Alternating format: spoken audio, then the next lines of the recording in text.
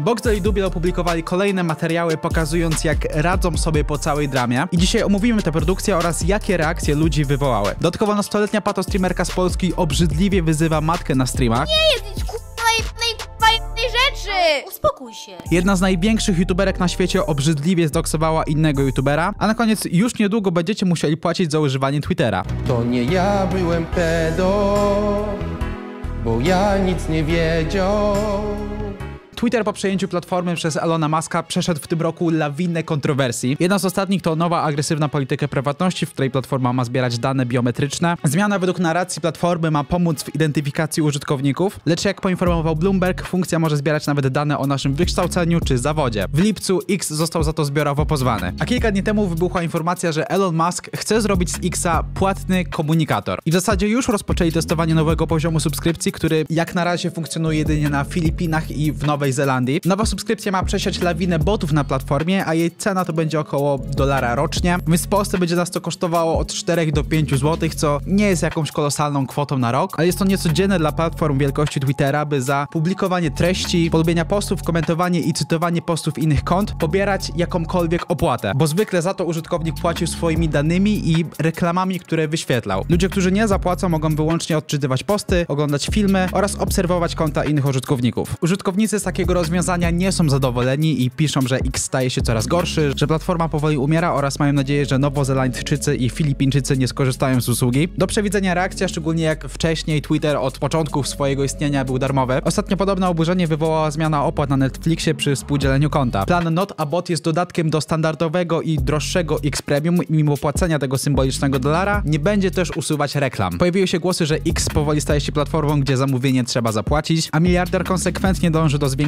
zysku z platformy, która jeszcze przed przejęciem nie generowała dużych przychodów. Ale na ten moment, jak donosi Fidelity, platforma aktualnie jest warta około 15 miliardów dolarów, a kiedy Elon Musk ją kupował, to e, kosztowała 44 miliardy. Więc zdecydowanie korzyści z kontrowersji nie ma, o czym też ostatnio przekonał się kanał sportowy. Począwszy od zerwania współpracy z Maćkiem Dąbrowski, czyli youtuberem i dziennikarzem z wieloletnim stażem, słynącym ze swojego nierzadko przekraczającego granice humoru. Od pewnego czasu człowiek Warka współpracował z kanałem sportowym, m.in. prowadząc poranki kanału sportowego u boku Krzysztofa Stanowskiego, ale ich drogi się rozeszły, kiedy internet obiegło nagranie sprzed 9 lat, gdzie Maciek podczas nagrywania formatu z dupy do ucha rzuca naprawdę obrzydliwymi i na dzisiejsze czasy absolutnie przekraczającymi granice tekstami, co w momencie afery Pandora Gate internauci podchwycili i wywlekli na nowo. Pchacie się na wałek, co dziewczynki?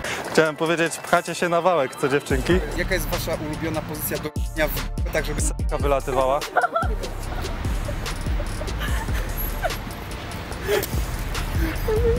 Tak, najlepiej na tors. Po zerwaniu współpracy widzowie kanału uważają, że taka decyzja to przerost formy nad treścią i mają jeszcze nadzieję na powrót youtubera. Po sytuacji z Maćkiem Mariana Schreiber, czyli żona ministra PiS, Łukasza Schreibera, udostępniła nagranie Stanowskiego, w którym podczas programu współprowadzonego z grupy mówi, że Stu mógłby prowadzić program o tytule Wykorzystana jedenastka. Wiesz, jaki format piłkarski mógłby prowadzić Stu? Pod jakim tytułem? Coś z jedenastką pewnie. Wykorzystana jedenastka.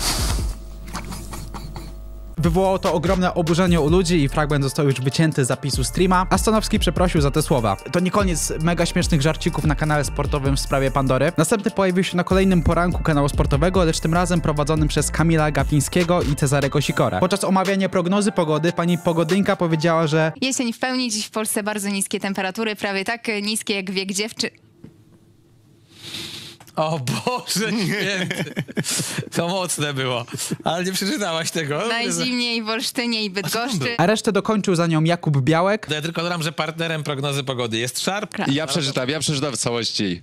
E, dziś w Polsce bardzo niskie temperatury, prawie tak niskie jak wiek dziewczyn, które były podrywane przez niektórych polskich influencerów.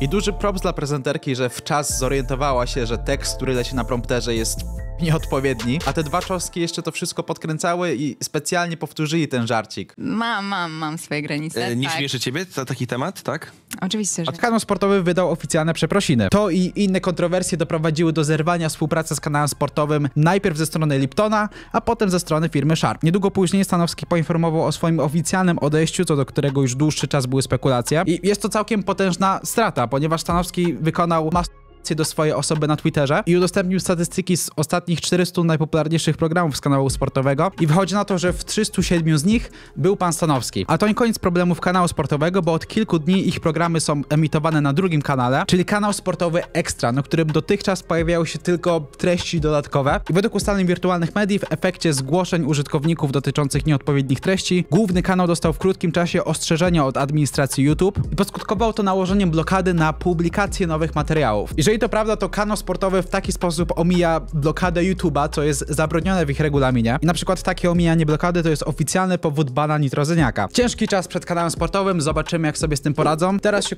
złapcie za fotele, bo kilka dni temu popularne na różnych social mediach stały się klipy ze streamów, na których jakaś dosłownie nastoletnia dziewczynka z Polski zaczęła wyzywać swoją mamę jednocześnie prowadząc nią live'a. Kurwicie mnie na rapie, oni kur... Nie wolno tak jebane. Nie wolno tak mówić. To niech przestaną mi jebać farna... jebać jebane farmazony. Widocznie coś jest na rzeczy. Nie jest nic kurwa najebanej kurwa jednej rzeczy! Uspokój się. Nie tym tonem do mnie, moja panno. To nie wiesz jakimś debilom z internetu, tylko mi wiesz, jestem twoją jebaną córką! Klipy, które aktualnie są usunięte z jej kanału, zaczęły zyskiwać popularność na innych platformach, czyli m.in. Twitterze, a więksi streamerzy tacy jak Ksajo oglądali je na streamie.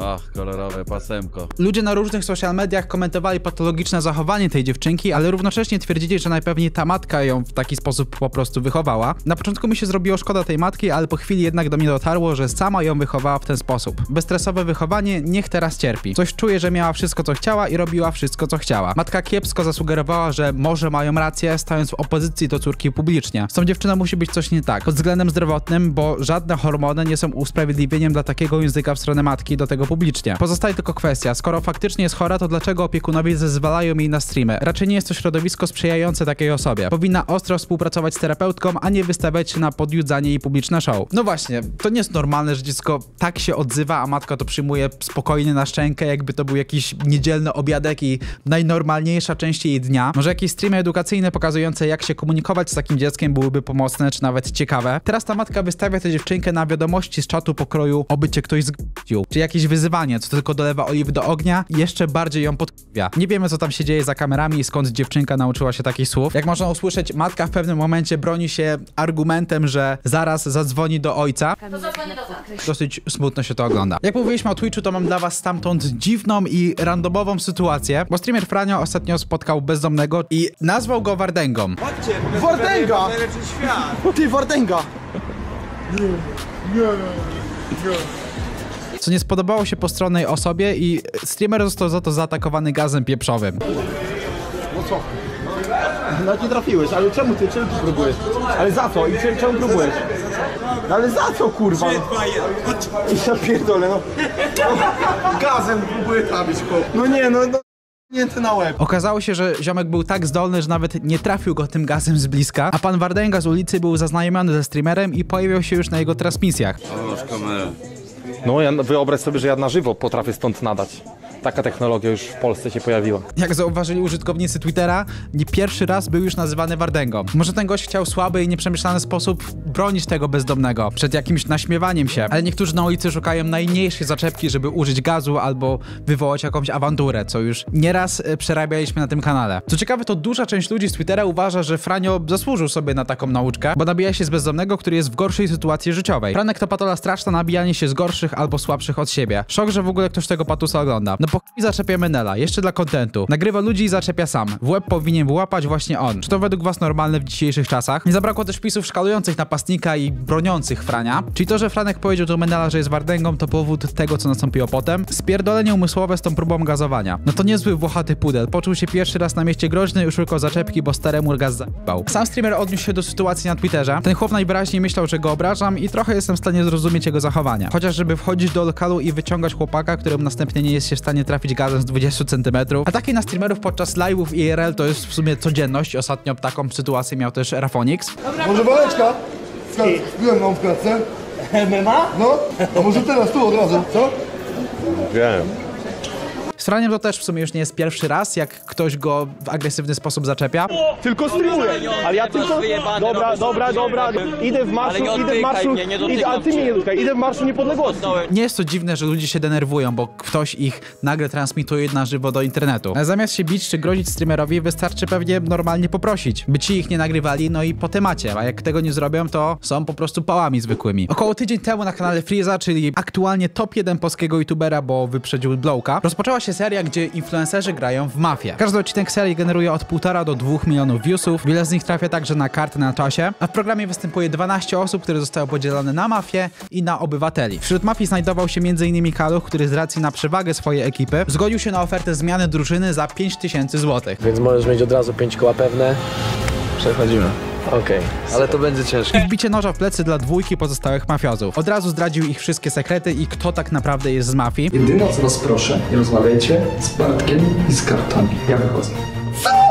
co poskutkowało wyrzucaniem Wiktorii z gry. Zestranie widowni Freeza po tym odcinku to jest po prostu cudo. Nie ma sensu już oglądać, jebało to całą grę. Chuj decyzja, chujowa karta. Nie wiem, czy bardziej mnie wku... Freeze wprowadzając taką kartę, czy Kaluch za oddanie takiej maniany. Akurat jeden komentarz jest całkiem trafiony, bo zasady nie były tam całkiem klarowne. Karta przejścia na dobrą stronę powinna działać tak, że w żaden sposób osoba nie może podsuwać, że była z mafii, a jedynie kierować na inne osoby, które zdradził. Kaluch perfidnie powiedział, kto był z mafii i to popsuło cały vibe tej gry. Za to druga część ludzi nie miała problemu z tą decyzją i na przykład rozumieją, że zrobił to pod content na rozrywkowym odcinku. I tak samo Kaluch tłumaczył się na kanale nadawczym. Teraz przegadamy ostatnio najgłośniejszą dramę za granicę. Mam w nią zamieszaną Sniper Wolf, która działa na YouTubie od około 10 lat. Jej content opiera się głównie na oglądaniu TikToków czy reagowaniu na nie swoje filmy. Mimo tak prostych odcinków posiada gigantyczny 34-milionowy kanał, a jej filmy, które publikuje codziennie osiągają minimum milion wyświetleń. Ale około dwa miesiące temu o kradzież kontentu zaczął oskarżać ją Jack Films, czyli twórca, który jest YouTube'owym dinozaurem, na platformie działa od 17 lat, a jego filmy w piku popularności potrafiły sięgać nawet do 25 milionów odsłon. Jack wypunktował Sniper Wolf za brak podawania źródeł, a nawet ucinanie nazw twórców filmików, na które reaguje. And my favorite part is that half of the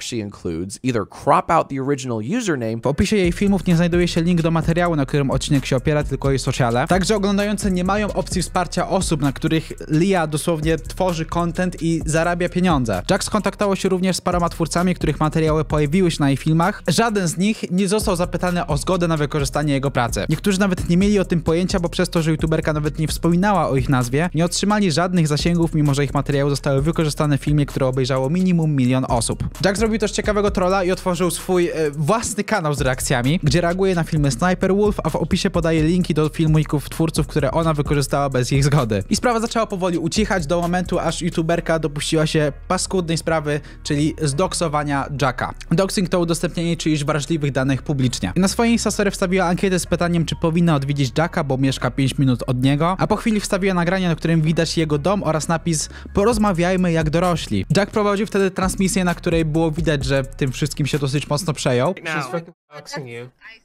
Yeah, that's the.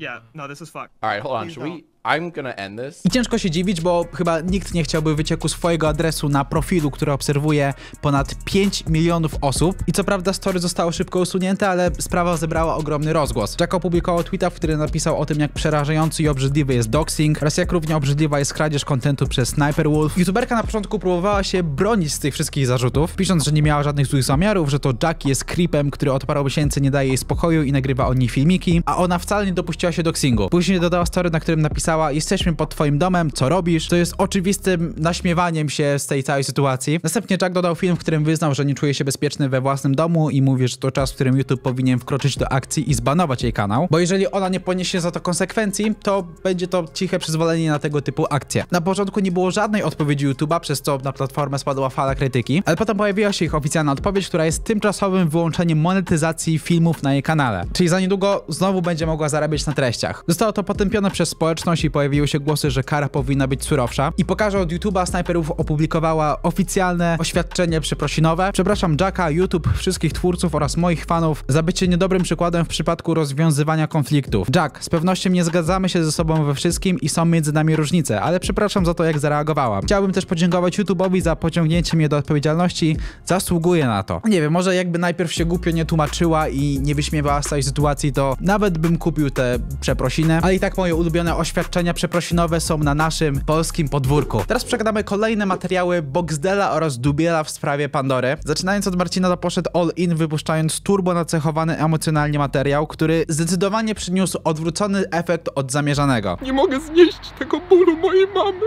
Co sam potwierdził nawet we wczorajszym smutnym urodzinowym poście na Instagramie. Dosłownie sam tym postem zasugerował, że chciał u ludzi osiągnąć jakąś litość czy przebaczenie. Marcin od początku w filmie pokazuje swoją rodzinę, o której większość osób zainteresowanych Pandorą w ogóle nie miała pojęcia. I takie pokazywanie ich przed milionową publiką jeszcze z tytułem nawiązującym do Pandory jest krzywe i mogło tylko zaszkodzić. Bo teraz tylko więcej ludzi wie, jak wygląda jego mama, jak nazywa się rodzeństwo i tak dalej. Mamy tam dużo płaczu i nagraną prywatną rozmowę e, Marcina ze swoją mamą, gdzie wyraża swoje niezrozumienie, jak to 20 milionów ludzi uległo manipulacji. 20 milionów osób, które to zobaczyło, Masakra, no ale rozumiesz? nie skupił swojej uwagi na tym, że manipulowali. Kwestię manipulacji i tego całego jego kontekstu objaśniłem w poprzednim odcinku i nie wiem za bardzo, co na celu miało powtarzanie tych zarzutów. Jak Marcin chciał tym pokazać, że patrzcie, to smutna rozmowa z moją mamą, to ja tego nie kupuję, bo takich rozmów nie robi się przed kamerami i ludźmi, którzy w tle jeszcze coś jej podpowiadają. Mają się opierać na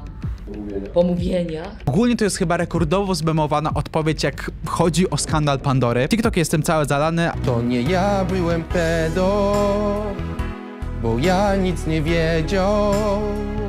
Chociaż dosyć mam łez, moich łez, tylu łez. Jestem po to, by tłumaczyć się.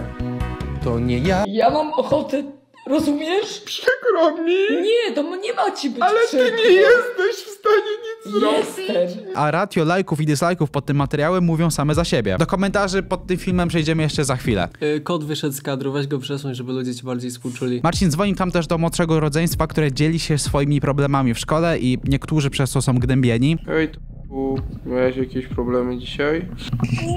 No z jednym kolegą. Dubiel powiedział też, że jego mama dostaje paskudne telefony z groźbami. Mojej matki i mówią jej, że zgwałcą i zabiją kurwa jej 11-letnią córkę. Jest to obrzydliwe, nigdy nie namawialiśmy nikogo do samosądów czy jakiejś agresji. Wielokrotnie potępiałem takie zachowania, jak ktoś bawi się w samosąd czy prześladowanie niewinnej rodziny, jest paskudną osobą. I ponownie proszę, żeby tego nie robić, bo was kur... w łeb kopnę, albo naślę mojego kota. Już w ogóle będzie prze...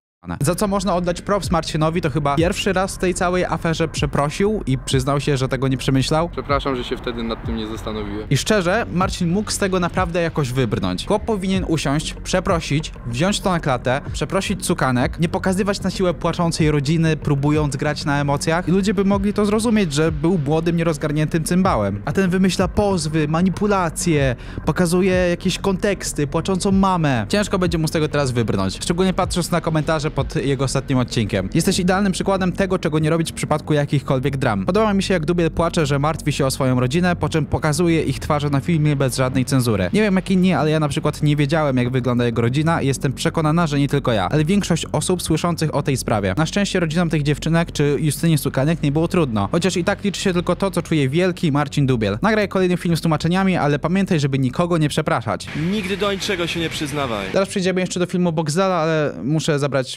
kota na spacer. Gdzie jest mój rekwizyt? Chanelka. No chodź, trzeba się wykorzystać do filmu, no chodź. Tadek nie był ze mną od trzech tygodni na spacerze. Wyprowadzę Chanelkę na spacer, bo trzy tygodnie ze mnie wychodziłem. To nie jest kot taki domowy, że się z nim w ogóle nie wychodzi? Porozmawiamy dzisiaj o mojej tragedii Pandora Gate. To ja jestem ofiarą. Trzeba sobie jakoś radzić. Trzeba żyć normalnie po tym wszystkim, wrócić do życia, do normalności. Ty może pojedźmy do tego parku tam, to ja sobie od razu zdjęcie na Instagrama zrobię.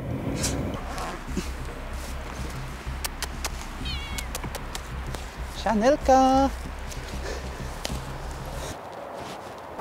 Bardzo ciężki jest to dla mnie czas. Co ja tam ma- miałem w tekście? Reżyser? Przepraszam was, bardzo tego żałuję i nie powielajcie narracji. Ale nie powielajcie narratywy, że Stio to był jakiś mój kolega. Nas łączyły tylko relacje biznesowe. Straciłem wszystko, co miałem. Chciałem też zmienić numer. Musiałem zmienić numer telefonu, wyjść z tym pchlarzem jebnym na spacer. Nigdy nie chciałem sprowadzić tego na moją rodzinę. Dlatego zapraszam na cały film z nią.